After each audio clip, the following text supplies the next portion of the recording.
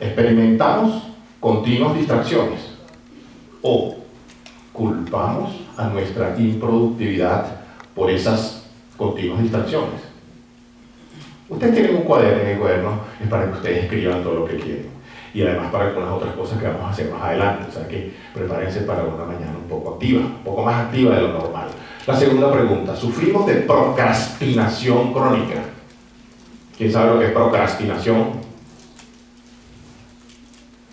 Procrastinación es simplemente decidir no hacer lo que tengo que hacer y hacer algo que no quiero hacer, pero que lo hago para no hacer lo que tengo que hacer. ¿Han vivido eso? Bien, vamos con eso. Ah, dificultad de completar tareas.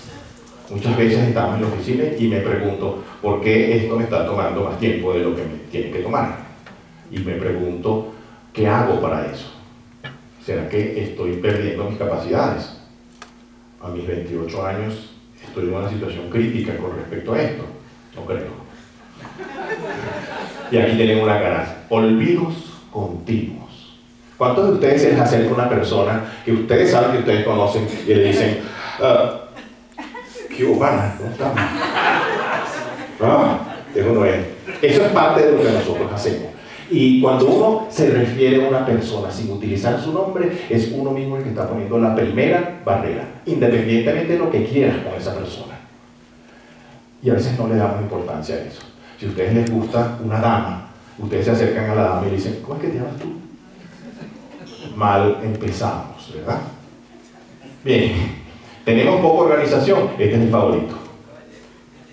Tenemos poca organización. Todos estos elementos que están aquí, de alguna manera, son identificados desde el punto de vista crítico como el déficit de atención, tan conocido como el déficit de atención, que es una situación que usualmente cuando es diagnosticada se corrige de dos maneras, o con medicamentos o con cambios de hábitos, cambios de comportamiento. Pero vamos a pensar algo. Si todos nosotros de alguna manera tenemos en alguna medida esto, esos cambios de hábitos también tenemos que empezar a implementarlos. No debemos dejar que estas situaciones se conviertan en críticas.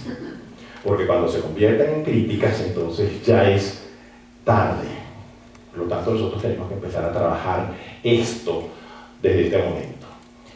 Y lo más maravilloso de todo esto es que es muy fácil. Es muy fácil empezar a trabajar de esta, eh, a, a controlar o a manejar este tipo de situaciones. Por lo tanto, nosotros debemos evitar esta, este déficit de atención autoinducido. Nosotros mismos nos lo generamos. Y vamos a tratar